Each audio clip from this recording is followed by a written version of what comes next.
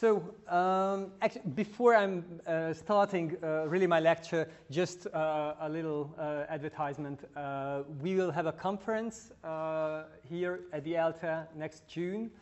this will be the sixth edition of Plotting Poetry, the plot storytelling and verse. and um, it will be, if I'm sorry for the spoiler, but it will be just some days after the DARIAH conference next year. Uh, so if ever you are coming to the DARIAH uh, uh, uh conference, uh, uh, this is the, the week after. So if you can have a long weekend here and follow up, just please stay with us and share also the news of these, this conference, which is about analyzing poetry with digital tools. Okay, so the context is uh, of my presentation is uh, uh, a research on the genre of the historical songs in, in Hungarian poetry. Um, this is actually uh, really the first try to access with uh, digital methods uh, a huge corpus of, of Hungarian poems from that period. Uh, it is uh, it has got some financing for three years, uh, and so it's still uh, going on. And we have two uh, external members or counselors, Petr Plecháč from Prague and Artem Šeļa, who's working now in Warsaw, if I'm not wrong. so, what is the specificity and the importance of this genre, the historical songs?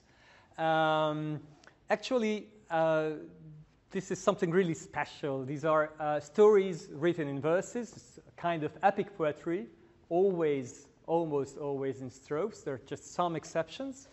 And it is something similar to the German historische Ereignislieder or Zeitungslieder or the uh, uh, Sankelbankslieder, something like this. There are many different approaches to this uh, very weird genre.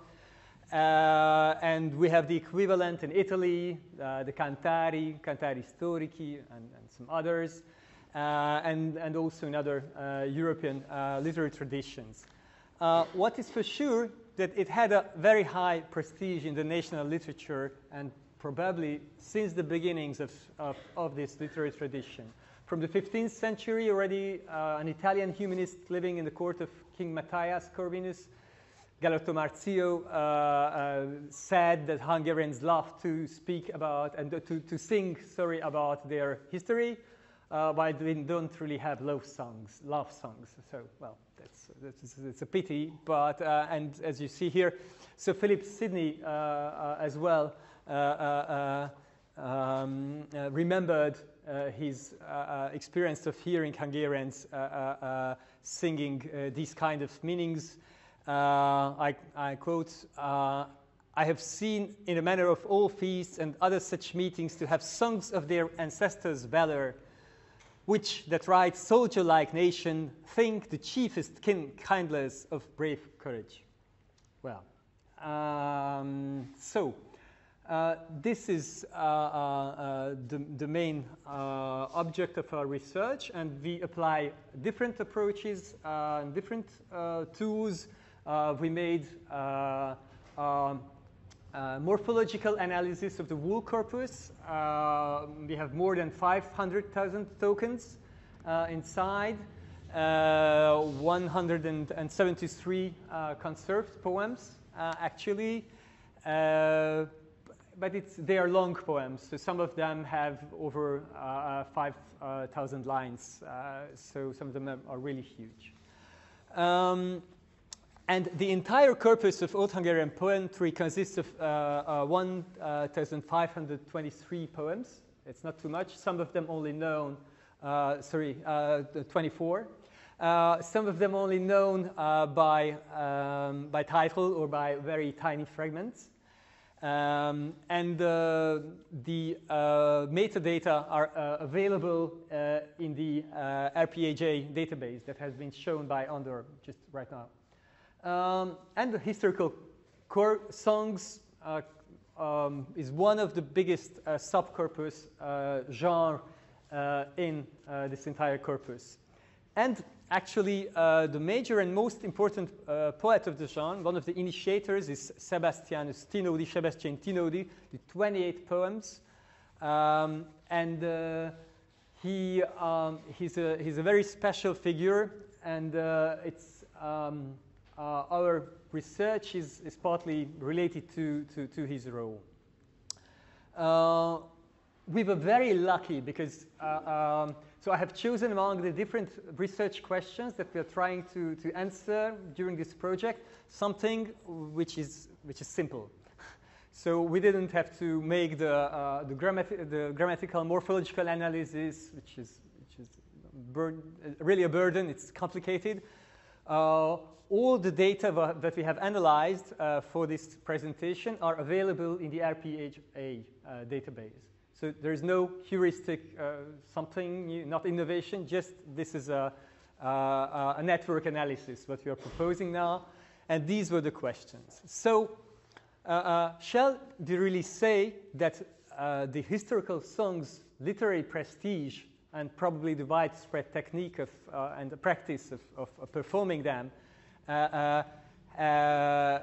is shown by the melody sharing and the indications, indications of tunes. in many 16th century sources, there are some musical sheets printed, but not too much.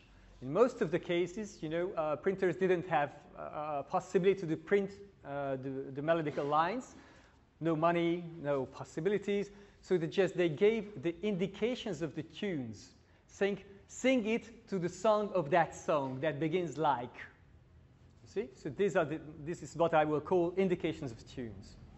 Uh, the Töne in, in German, uh, there is in the Sangspruch uh, tradition something very similar. So, and we have two assumptions, uh, and actually it's a question what we would like to, uh, to decide. Uh, either uh, we can prove the central importance of the historical songs, so the a high betweenness centrality and a high degree centrality, that, that, that is what is expect, expected actually. Or is it a specific uh, uh, cluster or something that is really a part of that?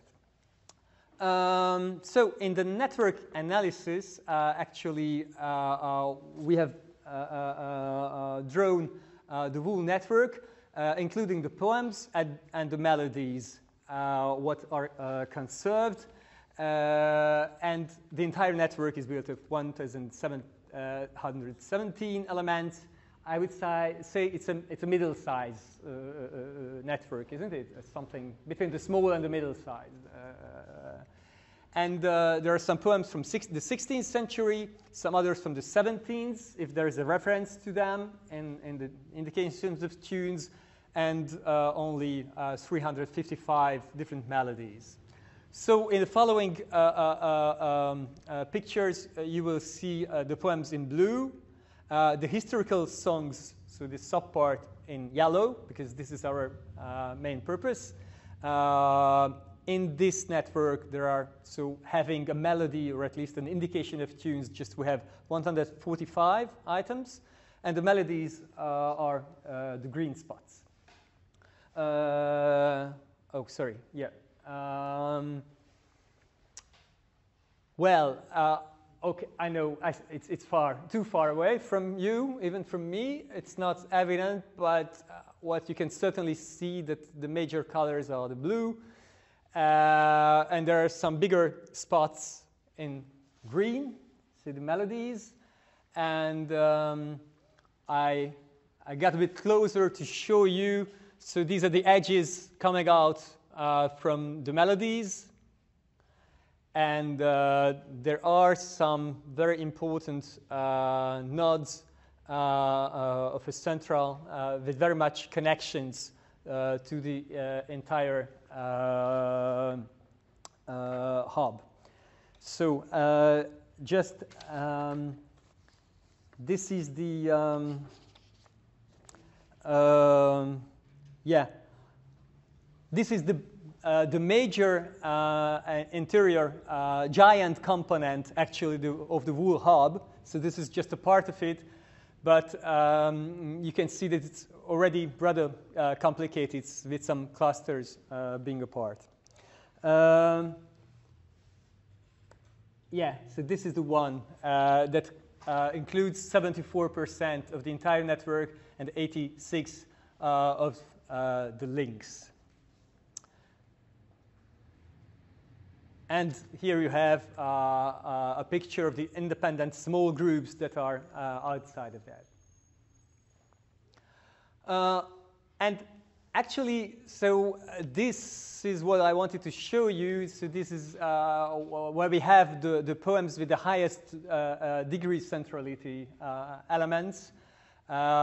And you, you have some uh, uh, uh, yellow dots and nodes, but not too much, not too many, and, uh, uh, and they are not, uh, the, the shape and, and the size of the, the node indicates the, the, the contact, contents, contact, sorry, so the connections that they have, and you see that they're not among the, the, the biggest ones. So just let me share some of these with you. So this poem here uh, is uh, a psalm paraphrase by Gergely Szegedi with 52 uh, connections, uh, actually. And the second uh, most strongest, well, most important poem, um, poem or element is another psalm paraphrase, number 203, yes, just over there. And there comes a, a third one. So among the historical songs, uh, the one has, that has the, the highest uh, uh, degree uh, um, of connections is uh, just the 20th among uh, the nodes in the entire one, and it has just 18 connections. and this is the poem which has the, the, the, strongest connection um, uh, degree uh, uh, um, among in, in, the entire corpus. In the small corpus of the historical songs, it's very interesting that the, the centrality um, um, um, in, in, in, respect of the centrality, uh, um, uh, this um, is a poem which is um, uh, very important because um, it has four uh, indications of tunes uh, in the uh, edition, uh, but at the same time, it's certainly not a very popular one because there is just one copy of a fragmentary copy conserved of it, and just we know the first three strophes of the poem. So we don't know nothing about it, but the central position of this poem is assured by the fact that it refers to four different tunes to which it can be sung. So it's a funny thing in the, in the network analysis that such a poem can be in a, in a, have, a, have such a, a central role. Okay, uh, let's move uh, to the authors and, and, the, and the melodies. Uh, here you can find uh, the, the authors that uh, the anonymous poems and those who have uh, the most um, poems written in the corpus. Miklós Fazekas Bogáti, uh, uh, oh, Miklós Bogáti Fazekas is, is the one who, who had the, the most in here. And uh, Tinódi uh, is also, uh, well, he's on the fourth scale. And you can't see very well, but uh, here already um, it gives a shape of, um, of how, of the internal references. So this is where you have to go deep inside to, to, to have some more understanding, a better understanding of it. So these are the metrical patterns that we examined. Uh, it was uh, um, so uh, the, it was of course uh, much easier to sing a poem uh, uh, to tune of a poem which has the same metrical patterns. If the number of syllables changing, then of course it's a bit more complicated. So that's why you see that the, these clusters are really separated uh, according to the, uh, to the metrical, uh, um, well, um, strophic pattern that we see. and here you have the rhyme schemes. actually, this, this, this tradition, unfortunately, has a very simple uh, rhyming uh, um, um, well, uh, uh, so there's, there's, not just huge diversity in, in, in rhyming, let's say so. Um, so you see that there are a bit more uh, uh, independent uh, clusters. It's falling a little bit apart. Or we can, you can say also that it's a bit cleaner somehow, what we can do. And so we can examine the sub, the, the, clusters a bit better. Here, uh, just uh, quickly, I show you the evolution of the network, uh, how it was changed. So Tinodi, whom I mentioned, published uh, a book uh, uh, called Chronica with his historical songs in 1558. A year after appeared a collection of biblical epic songs. And then you have three other collections of poems containing also other kinds of poems, not only historical songs and it's just to show you the evolution uh, of, the, of the network. So here, just Tinodi being alone, it's all what we have of him, not too much. Uh, you see the violet color maybe. Um, here you have the green ones uh, with some 27 more poems in the next year. Here already you have Bornemisza's, uh, no, Heltais Cancionale, which is a bit stronger already and has bigger dots. And, and here comes uh, uh, really uh, another step uh, which is achieved. So, so this is Bornemisza's uh, Énekek három rendbe, which contains also some paraphrases and which really already shows the shape of, of, uh, uh, of, the, um, of what will become uh, uh, Uh, uh, the network.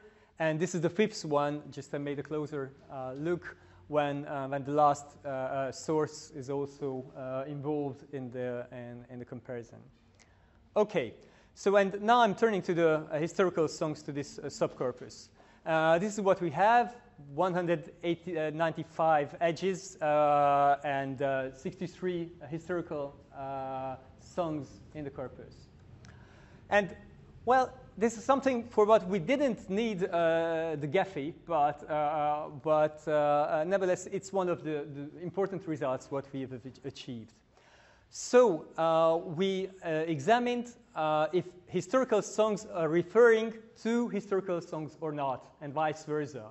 Because it's because of the prestige thing. If it's an important genre, if the poems are well known by everybody, if they are popular, they will be referred, they will be used as a reference sing it to this tune. Everybody knows it. And it appears that the non historical poems mostly refer to non historical poems. So the prestige is not confirmed. And on the other way around, also, uh, uh, yeah, so this is one of the things what we have to admit. And this, is, uh, this part of the, the table uh, shows if there is a, uh, an independence between the religious and the profane historical poems referring to each other. And it seems that a religious history refers more likely to another religious historical song, while a profane one more likely to another profane historical song. Okay, so there is an, uh, an, an uh, inner coherence between these subgenres. Uh, so it seems to be really something apart, but important in itself. Okay, but not having a, a, greater importance uh, on the other ones. So these are the most important uh, uh historical, popular historical songs and dedications of tunes referring to them. Three minutes. Thank you. Okay, so it's just a case study of, uh, uh, this is the most popular, um, well, this second uh, uh, most popular uh, song, this one with 13 indications of tunes. And this is the one-step network of it. So the references, poems referring to it, and its melody. And uh, this is when we uh, push it to the, to the next degree. So it's a two steps uh, network of it. It's rather big, but still limited somehow. Okay, and this is something interesting. Uh, this poem uh, about the King Matthias uh, uh was not achieved. And Miklos uh, uh, Bogáti Fazekas wrote um, um, um, the end of the poem somehow. And he was one of the most prolific authors, actually, of the, of the century, with 169 poems. And he made an entire uh, psalm paraphrase, and 14 historical songs and some other compositions. And with that, he created a, a, a big hub, uh, and uh, uh, this is where you can see already uh, that how when his poet, poems are involved in it, how it becomes really something more. And Tinodi, if you compare him with Tinodi, you can see that really there's not, no real interconnection. So the poems of Tinodi are related maybe to two melodies, maybe to two other poems, uh, but not really strongly connected to, to the rest of the network. And certainly not a point of departure. Uh, this is the network without Bogáti's poems. And uh, uh, yeah, sorry, just one remark about Tinodi. So Tinodi's poems uh, uh have been Uh, 35 uh, times cited uh, or given as an indication of tunes. And of the 35, 31, in 31 cases, this is Bogáti Fazekas who gives for his own poems Tinodi's melodies. It means that Bogáti, at the end of the 16th century, had such a knowledge of the network of melodies and poems from the beginning uh, uh, two generations that he kept everything on the side somehow, it seems to us at least, and he still had in memory uh, Tinodi, and he was the only one uh, citing him, while many others didn't. And this is something what we have to answer later on uh, why not and how. And this is Bogáti's network, actually. One minute. Thank you. I will. I think I will end. Uh, and um, so this is the entire network where Bogáti is involved, and um, his own poems with one step. Just so uh, the melodies and the related poems, if we take it into account, uh, as I told you, he not only wrote historical songs but also other things. So, very simply, against all expectations, it seems that Tinodi had a very humble role in the network of the 16th century Hungarian music. If you go to a concert of historical, uh, Hungarian historical music nowadays, uh, uh two parts of the repertoire will be Tinodi, uh, so it's something surprising. And on the other hand, Bogáti Fazekas, a long time uh, uh, neglected, his psalm tra- translations or adaptations are still not edited, scholarly edited uh, or digital, uh, how to say, uh, um, yeah, well, so there's no, not a correct edition. He had a central, a determinant role uh, in this network. And uh, so that's what we could show thanks to this uh, network analysis. So thank you very much for your attention.